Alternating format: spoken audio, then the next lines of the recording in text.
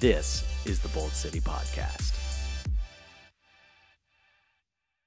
Hey, welcome to the Bold City Podcast. I'm Jason Masters, the lead pastor at Bold City Church. I want to welcome you. Thanks for joining us. Hey, I want to remind you that you can find this podcast anywhere you can find podcasts Spotify, iTunes, where, wherever you can find them, YouTube as well. And listen, if you hear anything you, you enjoy or you like, we would love for you to like it. And uh, we would also love for you to share it if you think it could impact anyone else. Send it to your friends, send it to your family send it to whoever you want to send it to if it blesses you and you believe it'll bless them. Well, today, uh, he's been on here before. He is an incredible man, uh, a great man of God. I really am thankful for this guy. Uh, he is an elder in our church, and uh, we consider him our resident theologian, although he laughs at that. And will you guys, uh, can I welcome you and uh, introduce you to Adam Driggers for those of you who don't know? What up, man? Hey, man. How are you? Thanks for having me. I'm good. I'm Yeah. good. I'm, you're really good. People don't understand the last 30 minutes that the rest of us have had with you. so you coming in hot. So this is awesome.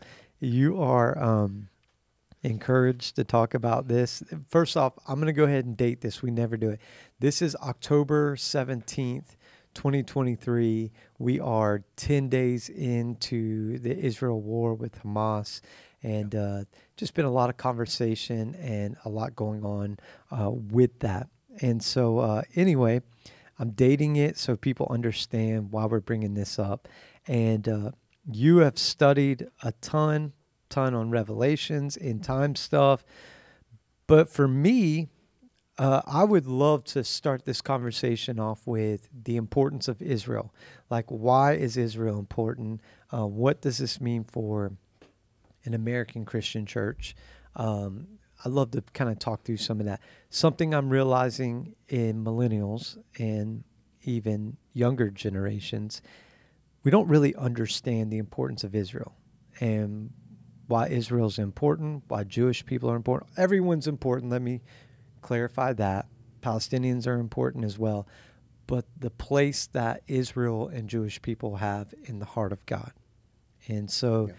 I hope we can enlighten them and encourage them because the goal for me would be, man, to pray, to give, to, to fast, to proclaim, to declare, um, to stand with Israel. And also, before we roll too, I think it's important for people to know that Jewish people aren't overly receptive of Christians um, Right. for a number of reasons, but one is because we basically disappeared on them in Holocaust Yeah. and persecuted them and um, and tried to wipe them off the face of the planet.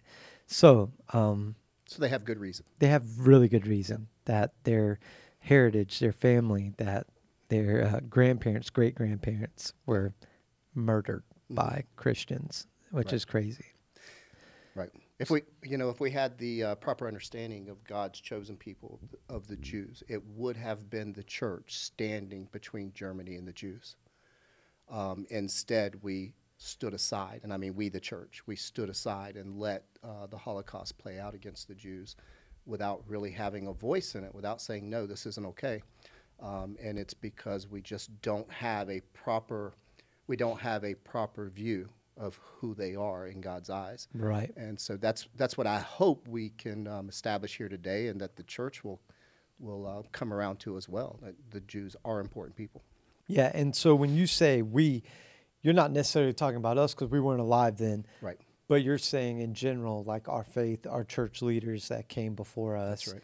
Yeah. Um, I was watching something this past weekend that was just talking about how many churches, when um, when Jews were going to literally be slaughtered, how many churches they passed on the way. Yeah. Just incredible, church after church after church. That's And, right. um, so when Christians show up today at their doorstep with a cross and a Bible, you know, you can kind of understand why they go, "What are you doing here?" yeah, Like, and we don't want to hear what you have to say, right? Because there's that history. yeah. And if you don't know that history, You don't understand. you don't understand at all. Right. So, um, why should Israel be important um, to an American Christian today? Yeah, so um, you, you already had your Bible turned um, to Genesis chapter 12, right? Where God chose a man, Abraham. And of course, there wasn't Hebrews then. Abraham was not a Hebrew. but um, from Abraham, he chose a line. Uh, and you know we trace that to I, from uh, from Abraham to Isaac, Isaac to Jacob. Jacob's name is changed to Israel. From him, twelve sons, and from that line, we have Jesus, right? And along that history, throughout the Old Testament, there were promises made to those people, to Israelites that became to be called Jews. They weren't always called Jews, Israelites or Hebrews, right? Um, but God made promises to them. And for us to accept that He can break those promises to them, well, wouldn't that kind of put our own faith in question? No doubt. Right? If He can break His promises to Israel, why then wouldn't He be able to break His promises to us? Over and over again, He promises to do things for Israel. And um, it's important for us to kind of be familiar with those things and to see God working those things out and be and, and then just be okay with it, right? And so kind of what I'm referring to then is there's this idea, um, what's called replacement theology, where people will preach or teach that the church has become Israel. So that God is done with Israel. He has set them aside, and now He will still fulfill those promises, but He's going to fulfill it to this church rather than to the to the Jews or to Israel, and um, that's it's just wrong. You know, it's just wrong, um, and we see it in the New Testament, but we're kind of taught to we're taught to read over it, um, or we're taught to read ourselves into it, so that when the New Testament, especially, is talking to Israel or to Jews, we just put ourselves there. We put the church there. Um, and then what we do is, if we can do that, then we go back and we look at uh, the Old Testament. We do the same thing. So I'll give you a good example that I think a lot of people will be um, familiar with: the Valley of Dry Bones. Right? Uh, we we preach it for revivals. Right? We preach it about future resurrection. Right? We preach it about the church. Never do we preach it about the Jews. Never do we preach it about Israel. When if you just read it, that's all it's about. Yep. It's literally about resurrecting a dead nation, resurrecting the nation of Israel. That's what it's about. Israel was dead, they were gone, they were not in their land. And Isaiah, I'm sorry, Ezekiel 37, the prophecy of dry bones, is about bringing them back into their land. And when we don't recognize it uh, as being about Israel, we completely miss that that prophecy is being fulfilled as we speak that since 1948, millions have returned to Israel, where there was just a couple of thousand in 1948. Now there's 7 million Jews living in Israel. Which is insane. It's insane. It's completely insane. But we don't even look at it as prophecy fulfilled. Yeah. We don't look at it as God keeping his promises because we're conditioned to read it about ourselves or to read it about some future event that means the resurrection of the church or resurrection of believers when if you just if you just read it without that concept in your mind, it's about Israel. And it's an easy text to preach because it's inspiring It's and it's hope filled. yeah. And so it's real, real easy to make that portion of scripture about you. That's exactly um, right. Something else I'd love to piggyback on um, in regards to what you say about Jews coming back home. Think about this in the past 10 days. How many have went back, Yeah. have left to go back to fight for the homeland? Yeah. And so, like in the past ten days, there's just been a mass. Like I have a I have a flight flight tracking app on my phone. You know Mhm. about Yeah, we talked about it last week. So I, I watch. Um, you know, because sometimes they'll show you like the different military flights that are flying around Gaza and Israel. So anyway, I was watching them, and it was insane. Uh, it was a couple days ago, maybe maybe three or four. There's just a line, like a train of flights that were coming in that were Israeli airlines that were flying in. And there was a report on the news about how many Israelis were flying home to, to serve their country. And I just looked at that train and I was like, God, there's probably at least 150 seats on every single one of them. And, Yeah. and, uh, and I haven't seen any reports I, at this time. I don't know. But I bet you there's thousands of Jews who have went home in the past 10 days. Right. There was, uh, you know, when the conflict broke out between Russia and the Ukraine. You know, I was getting all types of questions about how does this relate to end times, Sure. and people kind of get aggravated when I am like, oh, it might not be anything to do with it. It might not have anything to do with it at all, right? Well, But because there that's not exciting. It's not like, oh, exciting. that's That's, not exactly right. But here's what is exciting, and here's what I started sending. I started watching Israeli news and reports about Jews leaving Ukraine to go where? Back to Israel. Back to Israel. I started watching reports about Jews leaving Russia to go back to Israel. And then I can say, now we have now we have something significant to end time because that is an end time prophecy. When you look at Ezekiel 37, you start really with 36. Ezekiel's told to prophesy to the land. Speak to the land, son of man, is what it says. And he promises all this good about the land. And if you just look at it, it's happening. It will be mo- more fruitful than it ever was. And if you just read, Mark Twain wrote something about um, Israel back in the 1800s, and he basically says, "Why does anyone fight over this land? It's it's it's ridiculously barren. Not even the cactus like to grow here, right?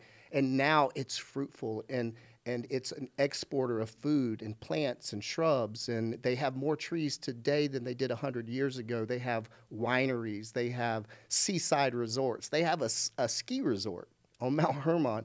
You know, Israel has blossomed, prophecy fulfilled but you have you know this these prophecies 36 and 37 and then you get into 38 39 this gog magog war but but the point is before that the people come back and so when these things start happening that's one of the things i look at. I don't look at what nation is fighting against israel what nation might come against israel.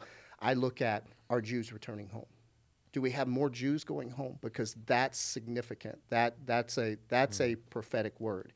And so you can you can look at what you just said and these other events where Jews start ma- amassing in Israel. That's that's something that's um, that's super exciting on the prophetic world stage. Yeah, Yeah. that is, that is, and so for an end times thing, um, this should be important to us Mhm. as uh, you know American Christians.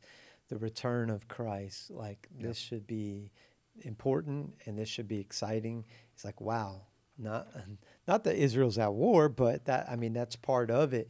But wow, look at how many Israelis are going home, how many Jewish people are going home. Yeah, that's exactly Um, right. And so, anyway, you were talking. We were talking earlier too. You alluded to Genesis 12, where my Bible is, um, and you were talking about the covenant that God made with Abraham. Can you continue to just kind of expound on that? And- Yes, so that particular promise um, in the first few verses of Genesis tra- chapter 12 is um, there's a specific line in that that becomes important to us as Gentiles because it says, In you, all the families of the world will be blessed. In Abraham, somehow this works out where all the families, not just Abraham's children and not just the children that come through Isaac and Jacob, but all families. And so, of course, we know in hindsight, we can look back and go, that's Jesus. Mm-hmm. That's the coming of the Messiah. That's Jesus who came through that line. In fact, um, Romans 9 4, Paul speaking specifically about, the Israel, about Israel. This is one of those passages that Gentiles just can't put themselves in. It literally says, from their race, talking about Israelites, from their race came the Christ, came Jesus, right? That's the fulfillment of that promise. Through Jesus, a bridge has been built for the Gentiles to come back to God, right? And so that is why it's important for us to um, to honor the Jews. Through them came the Messiah, who not just redeemed Israel, but redeemed the whole world, right? And um, and you know we we talked a little bit Sunday about this, but um, but one of the things that we should know is we're told to to pray for the peace of Israel. And I talked about the meaning of the word peace there. It's shalom. It's not just the absence of violence. When we pray for the peace of Israel, we're not praying just that bombs won't fall, missiles won't be shot, right?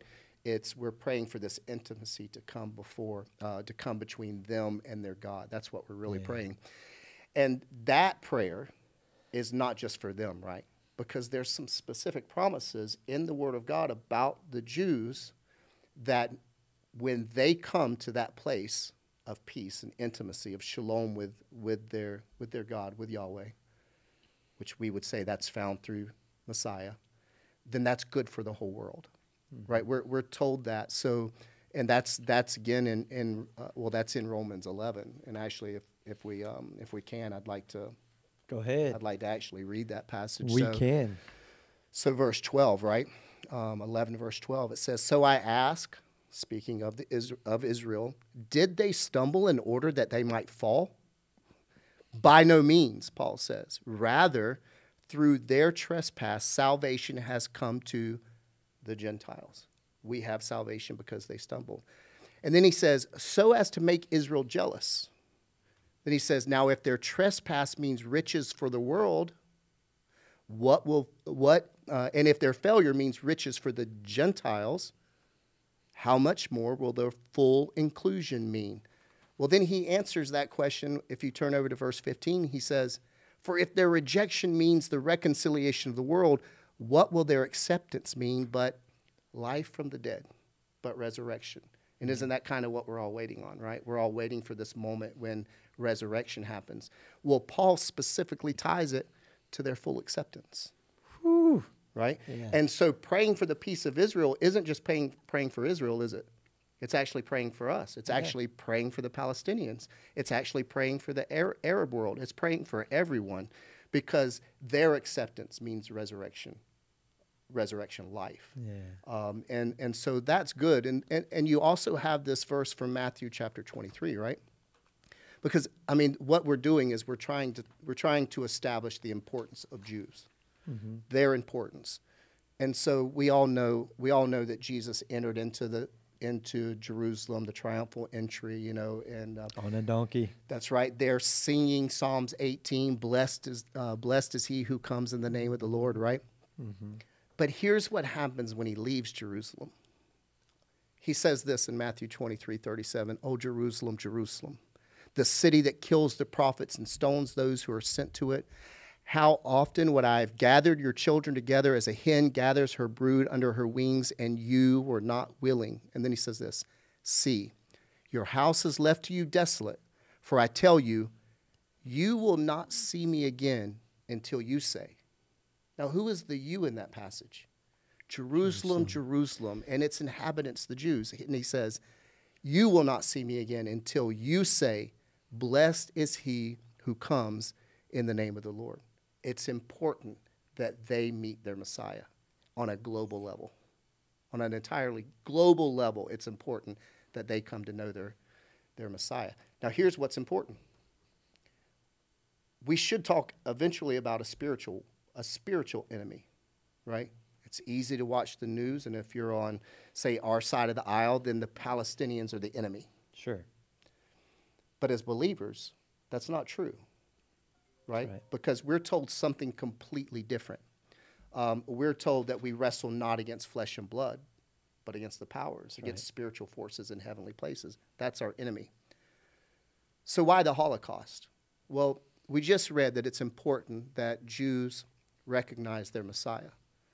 Well it's it's estimated that in europe before the holocaust 250,000 messianic jews that's a good start to ending in this passage where you have Jews on a, on a, a large scale saying, Blessed is he who comes in the name of the Lord. What better reason for an enemy to wipe them out mm-hmm. but to delay resurrection? Because what does resurrection spell for our enemy? It's over. It's over. And what I mean? Our spiritual enemy. Yes. It's over. And so, what better way to delay that than to kill a quarter million messianic believers? Right? And, and so, all of this is telling us it's important for us to pray for these people, for this people group. It's important. Uh, and to support them, like you said, and, and we do in several ways. But um, these things are important, um, you know, and it's, it's not just you know, this is what we believe. This is what the Word of God says. Yeah. Like, these are things that are said, right? Yeah. And so if most of your beliefs is driven based off what you see on the news, you're gonna have some messed up beliefs. Oh, absolutely. Because um, right. you and I talked about this the other day. there's a portion of our news, even our local news here, talks about how they worded it in such a way, and I'm not going to spend a lot of time on this, like like Israel's the savage here, Mhm. you know, Mhm. um, and uh, and globally, the global news like is Israel's the enemy, Mhm. not not the Palis- Palestinians aren't our enemy, but not Hamas. You know, Right. it's um it's man what they've done to the Palestinian people, right? And uh, I love what you said too because if we're if we watch the news a lot, it, we got to be careful because then Palestinians become the enemy. Mhm. Palestinians are not our enemy. That's right. Um, Hamas really isn't either. It's who they're under the influence of. That's right. Right. And so understanding that and understanding the importance of praying, like praying for this, this should give you intentionality to pray. Like we did on Sunday. We took a whole service Sunday and we just, we prayed. You did, you know, a 10 minute elevator speech on some of this. Um, but really, we just, we prayed and we bombarded the throne of God um, with this whole situation. A lot of people i was looking in our congregation a lot of people are just kind of like i don't really know what's going on and the importance of this. Hearing everything you just said like i hope somebody just leaned in and said okay i, I need to read up on this. I need to study this. Not just that but even something i'm personally convicted for is like hey not don't just read the bible like read it through the right lens Yeah. the right way um, because it'll shape if you're not careful what somebody teaches or the way you interpret scripture it'll shape the way that you believe and it couldn't be accurate you know like i've preached isaiah or i'm sorry ezekiel 37 Mhm. with nothing to do with jewish people before Yep. um, and you know and, and i went looking too this weekend um, there's a lot of churches that didn't even mention what's happening here. And we play a role in this. Like there this is important to us Mhm. even though we're 10,000 miles away or, or whatever we are. Like this is important. I think looking uh, through the lens of scripture at this whole thing is it really sh- it makes it actually it makes it more exciting you know it, it makes it like oh god you're about to do something you are doing something but you're about to really do something that can only be explained by you Right. and uh, and then it, it moves me to pray to pray for israel to pray for jerusalem to pray for um, jewish people to pray for the palestinians but even the most radical like the like i'm sure there's a lot of people it's like there's just no hope for hamas Mhm. But there's like a part of me that's like praying like even if they murdered and killed like man there is some sauls in there Yeah. that god's going to turn into pauls and so like even praying for them like i can see them with their little green bandana things on i can literally see them while i drive and i pray man god i just believe you know just believe god even right now somehow some way. We talked about this before we jumped on on this too man. Like god you're gonna do something somehow some way. The most broken the most devastating place on the planet right now is such a incredible garden for god to do something and grow Yeah. something. Yeah. so how would you encourage us to um to pray for israel first Okay. So you pray for the shalom. You pray for the peace of Israel. And then you pray with the understanding that that doesn't mean that Hamas goes away, that that doesn't mean that the war goes away, that it actually means they come into relationship with their Father through Jesus Christ, through That's faith good. in Jesus Christ. That is the prayer. Um, and then because of the promise that we read, that we, we spoke about in Genesis 12, right? you you can actually pray that for Hamas and the Palestinians as well. You could actually pray that for Hezbollah and Lebanon as well. And I know there's a lot of um, patriotic people that would be sitting, maybe listening and going, Disagreeing. What? What? what? Why would you do that? But I would say because it's biblical. because again, we wrestle not against flesh and blood. and I would remind you that in spite of what some people say on the news when they call them animals and beasts, They're actually people. And that when Jesus hung on the cross, he hung on the cross for the thieves beside him, for his disciples in front of him, and for the Romans who were persecuting him That's right. and killing him. He hung on the cross for all of those people. And so in our modern day world, that means Jesus hung on the cross for Israel, and that he hung on the cross for the Palestinians, and that he actually hung on the cross for Hamas and Hezbollah, for all of those people. And so we know that there are, and this is the this is a prayer that I had this morning in my, my personal time. We know that Palestine has groups of Christians. That's right. Christ Christ believing people. Um, and you can imagine that they're huddled together somewhere in Gaza. Yeah, somewhere they're getting together for sure. they're getting together because they don't really fit in. you know, they certainly don't fit in with Hamas. They don't fit in with most Palestinians, at least religiously. And of course, they're afraid of the IDF that that um, might invade at any moment. So they're together. And I wonder what would happen if the church began to pray. And I'll try and do this without getting emotional. But if we actually started to pray, that God would begin to inhabit their prayers.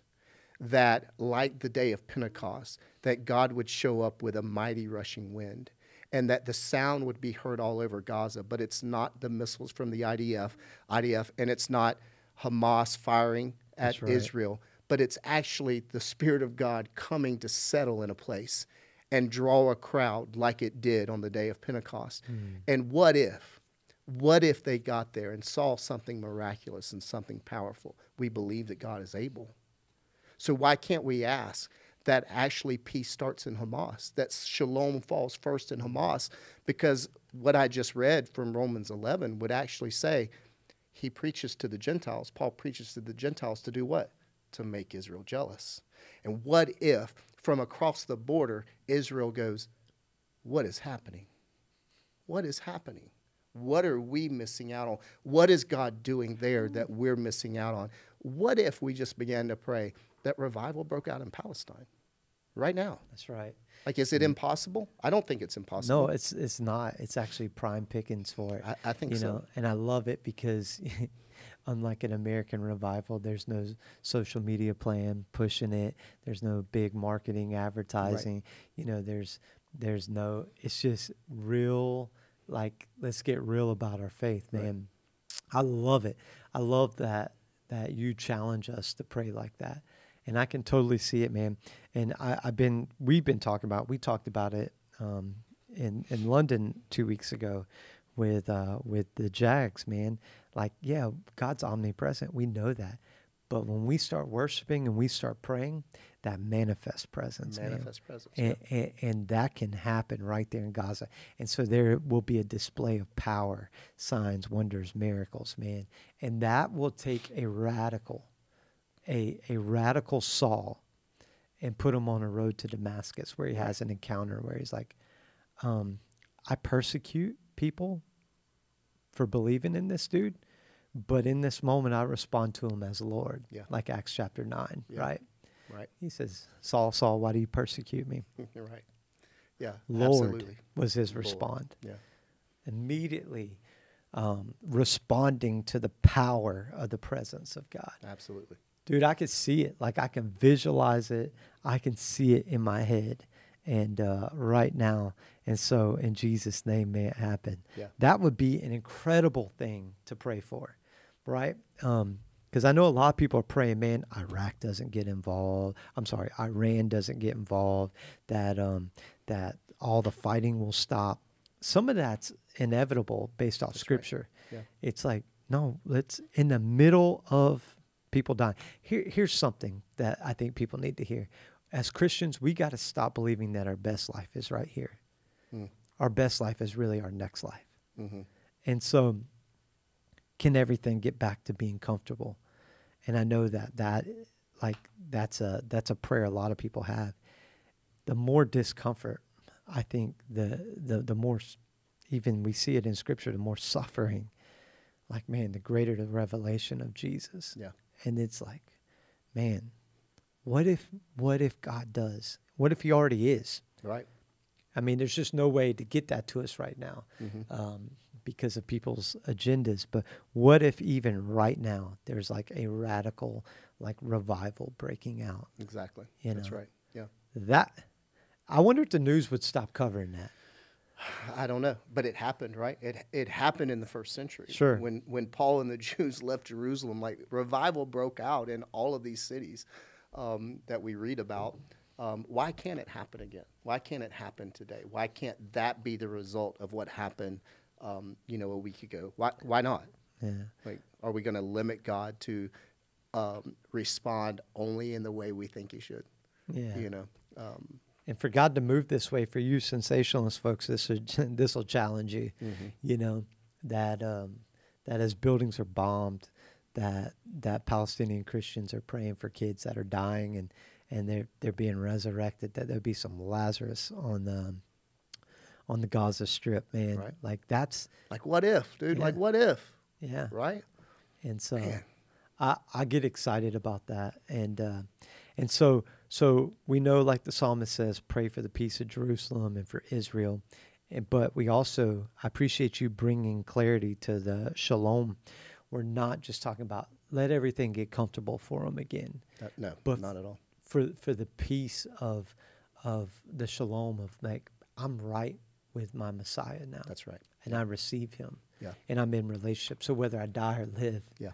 you know, like I am with Christ, I'm one with Him. That's right. You read in, uh, I believe it's Zechariah 12, you know, where it says, you know, pour out a spirit of grace so that there will be pleas of mercy. And that's, that's what we're, we're praying, that they would cry out pleas for mercy. You know, it's the same passage where it says they'll, they'll uh, mourn over the one whom they pierced. One day, the Bible tells us they're going to wake up to this. Why can't it be now? Yeah, Why can't it be right now? that's right. And there, there's a day that the house of Abraham that's divided will be divided no more. right.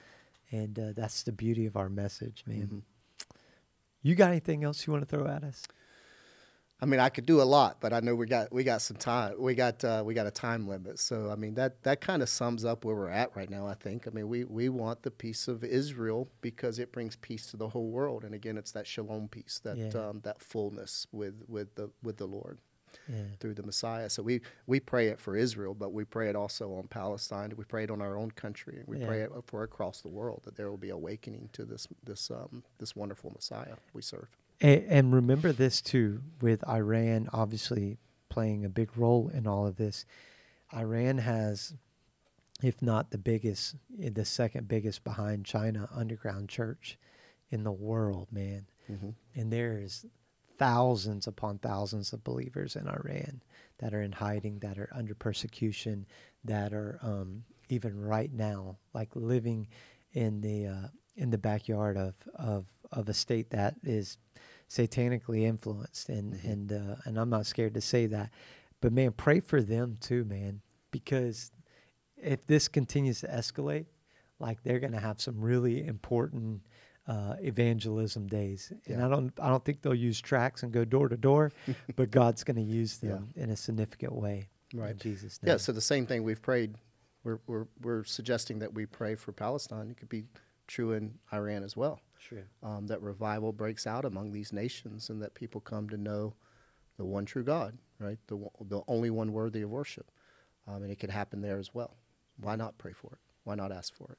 So, as your pastor, an elder, pastor of the church, we encourage you guys to um, to pray every single day and just allow allow the Holy Spirit invite Him to just have things cross your mind to remind you to pray. And it, it's my prayer that you will see small children, you'll see women, you'll see men, you'll see soldiers, you'll see Hamas, you'll see people in your mind, and it'll it'll cause you to pray and to pray for them to encounter Yeshua for um, for a revival, a real revival, one you don't have to sell tickets for, um, one you don't have to book a big venue for, one you don't have to put a marketing campaign together on social media for, but one that just happens like Acts chapter 2, upper room, just like you said, Adam, just the wind of God, just Yeah. just the Holy Spirit to flow through that area and just completely shatter the demonic stronghold um, on people, and uh, and may God get all the glory and all the honor for it. In Jesus' name, Yeah, amen. Amen. Thanks for tuning in to the Bold City Podcast. To learn more about us, visit us at boldcity.church or download the Bold City Church app. To support this ministry and help us continue to reach people all around the world, visit boldcity.church/give.